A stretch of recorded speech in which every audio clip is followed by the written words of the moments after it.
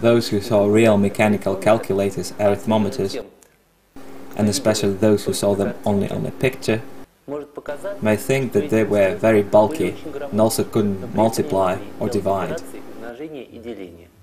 But in the middle of the 20th century, there were several variants of tiny mechanical calculators.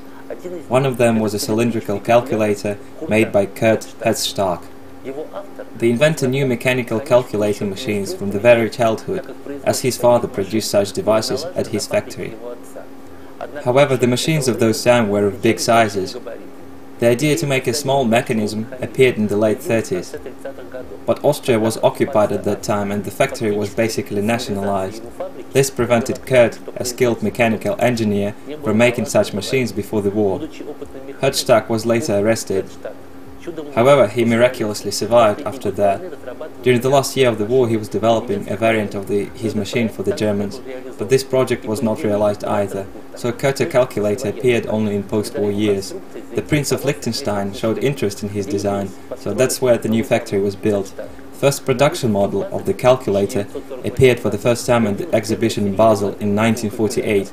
Initially, it, was called Lilliputian, but then it was named Curta after its creator.